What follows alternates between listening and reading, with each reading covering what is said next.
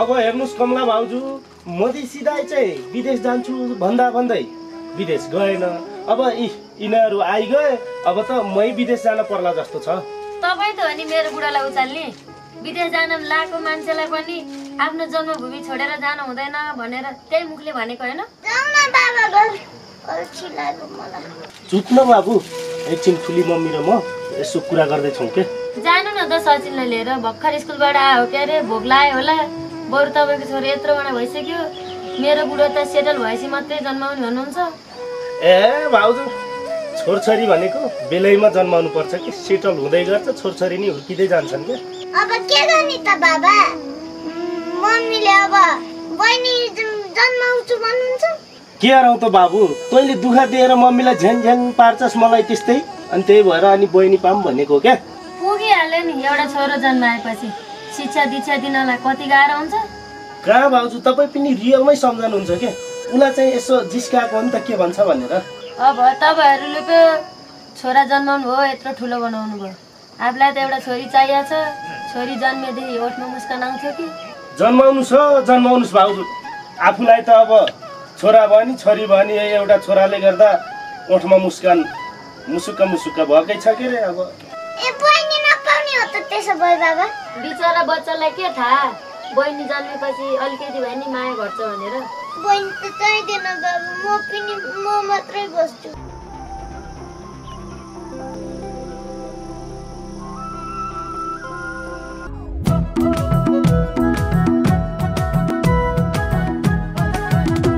होइन त त मलाई नि गएन छोरो डुलाएर हिँडिरहेछ त। अब के गर्ने त? अब छोरो हेर्ने मान्छे कोही पनि छैन नि छोरो हेर्न परिगयो। अब यसपालि भ्याइन कि म अर्कोचोटि आउँछु। अँ तेरो लागि भनेर अर्को वर्ष मर्छ त ऊ। है तेरो त नि यार। मैले त के सोचेछु? म त बिहा पो सोचेछु नि है। म त त्यही भएर त भोलि आउँछु भने नि। तैँले सधैँ छोरो डोराएको हिँडेको देखेर कमलाले छोरी एउटा त पाउनै पर्छ भनेर हैरान छ मलाई। ए जाऊ बाबा जबे ट्रेनिङ गफ गरेर भुल्नुहुन्छ हजुर। त भख न एकछिन ठुलो बाबासित कुरा गर्दैछु के? सुन्न अब भाउजू चाहिँ एउटी छोरी नपाएसम्म खुसी नहुने अरे। छोरी चाहिँ तैँले कहिले पाउने हो नि? अब तेरो भाउजूको त के के इच्छा छ के के अब? कहिले विदेश जा भन्छ कहिले नजा भन्छ अब छोरी पाउने इच्छा गऱ्यो उसलाई अब तेरो बुढी मेरो भाउजूले भनेकै हो के अरे अब के मसँग झर्किन्छस्? जाउँ नि सचिन मलाई गरेर आएको मान्छेलाई के के भनेर मुस्कान मात्र भानेर भयो सधैँ घोसी मुन्टो लाउँछ वै मुसुक्क हाँस्नु पर्यो नि त नाम जस्तै। आ च्या वै थालाबारी अङ्गुर। मेरो भातिजको स्वास्नी पनि डाङ्गुर। कासेरी तालाउने हो। यसरी त म माथि अन्याय भयो नि काका। आ अन्यायको कुरो नगर बुहारी नानी। तिमीले पनि त्यो कुमारीमाथि अन्याय गर्यो होला। त्यही भएर तिमी माथि त्यसले सौता हाल्यो। होइन काका मैले केही अन्याय गरेको छैन। एउटा श्रीमतीले गर्नुपर्ने कुरा सबै गरेको छु। तिनले त्यस्तै ल्याएका हुन् वै एउटा श्रीमतीले गर्ने कुरो सबै गाह्रो भन्छ। बच्चा पाएन होला अर्को ल्यायो त। बच्चा पायो? बच्चा त भएको छैन नि काका। अब घर सल्लाह हुनै लागेको थियो। अनि तिनले गएर अर्की ल्याइहाल्यो अनि कहाँबाट हुन्छ त? चिन्ता नगर बुहारी नानी यो टापसिंह काकाले तिमीलाई न्याय दिन्छ। तिमीलाई न्याय दिएन भने त साठी लाख तामाङको इज्जत गइहाल्यो नि। चिन्ता नगर। के तपाईँले न्याय दिनुहुन्छ र काका? उता कान्छीलाई बेदरता र नागरिकता दिएन भनेर सधैँ झगडा हुन्छ? वै यो मुलाले जतिजना श्रीमती ल्याउँछ सबैजनालाई नागरिकता र बिहा दर्ता दिने हो भने त सामबाती त साकी गयो नि। चिन्ता नगर दिनुहुन्न। कसरी हुन्छ तिनलाई तलाउनु पर्यो काका? तलाउनु पर्छ तलाउनु पर्छ भनेर सधैँ डोको बोकेर मात्र नहिन्। बुहारी नानी घुँडी बोकेर हिँड। घुँडी बोकेर हिँड भने फेरि खासीको घुँडी बोकेर हिँड्ला। आफ्नो घुँडी बोक्नु पर्यो घुँडी बोकेपछि बाच्चा हुन्छ। बाच्चा भएपछि छोरा मान्छे त आउँछ। छोरी मान्छे बिहा गरेपछि त आउँछ नि। त्यस्तै हो।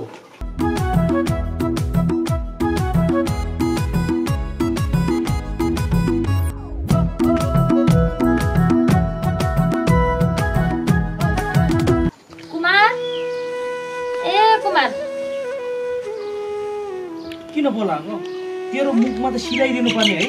अलिकति मायाले बुढो भन्न सक्दैन। त कस्तो खुट्टा दुख्यो। यहाँ मालिस गरिदिनु बुढो। तैँले मात्रै मकैमा मल हालेको?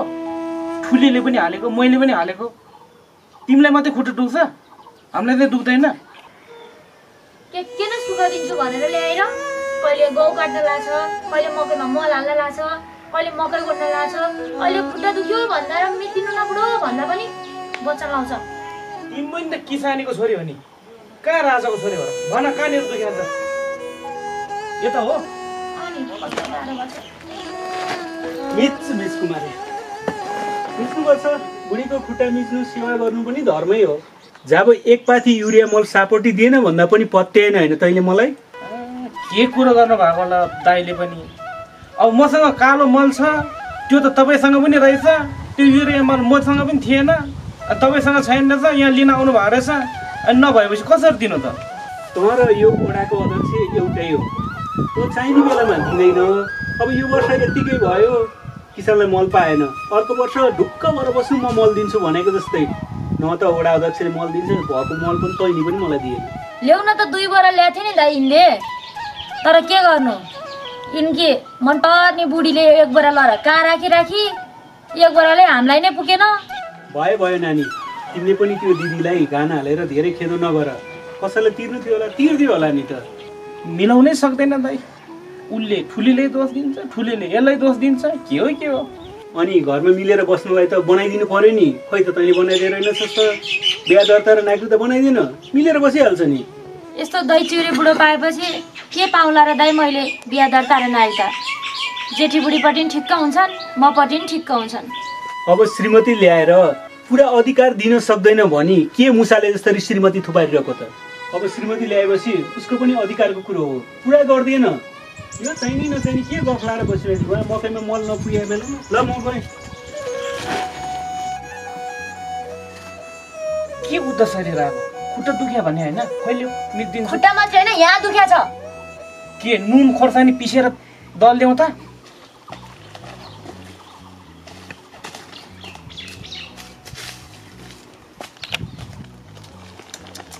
हेर हेर यो ठुली नानीको बिचरा तिमीलाई मात्रै दुखा गर्नु लेखा रहेछ है। त्यहाँ हेर न कुमारे र अर्को कान्छीको चर्ती कला। खुट्टा मिचेर बसिरहेछ त्यो कुमारे बिचरा तिम्रो दुःख। अब मैले माया गर्न नजानेर कान्छी ल्याएको होला दाइ त्यही भएर त के भन्नु र होस् न। अब मल पुगेन होला सबै मकै छाटेको होला त्यही लिन जान लाग्यो होला होइन ठुली? अँ दाइ अब बस्तु भाउलाई खोले पकाएर दिनुहुन्छ त्यही मकै लिन जानला। यो अहिलेको मकै धेरै खुवाउनु हुँदैन नि त वस्तुहरूलाई छेर्छ नि त्यसले त। मैले त नलिकन आएको आज त। ल ल बिस्तारै लिएर आऊ। ए भनेपछि काका ससुराले तिमीलाई नै सपोर्ट गर्ने भयो होइन त? अब खै मधेसी दाइ सपोर्ट त गर्छु भन्थे। बुढाको काका न परे उतैतिर पो लाग्ने हो कि? खै? तिमी छोरी छौ ठुली। उनीहरू काका भतिजा मिल्छन् अन्तिममा कान्छीलाई बेदर्ता दिन्छन् त्यति हो। अब कसको कुरा सुन्ने त नि दाइ म पनि माइतीले भन्छन् नदेऊ त्यसलाई। अब छरछिमेकले भन्छन् मिलेर बस उसलाई बिहा दर्ता बनाइदेऊ भन्छन्। खै के खै के? के गर्छौ ठुली? तिमी हामी जस्तो गरिबलाई भाग्यले पेलेपछि कसैको केही लाग्दैन। तिमीलाई पनि त्यही भाग्यले पेल्यो हो दाइ भाग्यले पेल्या त भन्नु पर्यो नि। अब आफ्नै बुढोले सौता ल्याइसकेपछि मैले दिन्न भनेर पनि भएन। हेर ठुली तिमीले उसलाई नागरिकता र बेदर्ता दिए पनि त्यसले घर गएर खाने खालको उसको स्वभावै छैन के? हो दाइ स्वभाव त छैन त्यसको। तर पैसा त चिनेछ नि त स्वभाव नभए पनि। मैले उसको बेदर्ता र नागरिकता बनाइदियो भने उसले फेरि सम्पत्ति त लिइहाल्छे। बेदर्ता दिइसकेपछि उसले सम्पत्ति लिन्छ भनेर के गर्छ त? अब नलिनु कुमारले ल्याइसकेपछि तिमीले दिनैपर्छ कर लाएर अब त बोल्ने काका आउनु भएको छ दाइ मेरो सपोर्टमा चाहिँ। अब हेरौँ के हुन्छ। केही हुन्न ठुली केही पनि हुन्न। तिमीले नदिने भनेर सुकै छैन तिमीलाई। तिमीले दिनैपर्छ ल म गएँ अहिले ल। होइन? आजभोलि गाउँलेहरूलाई के भएको छ? जो आउँछ उसैपट्टि लाग्छ त। त्यो चोथालेले केही गरिछ कि क्या हो?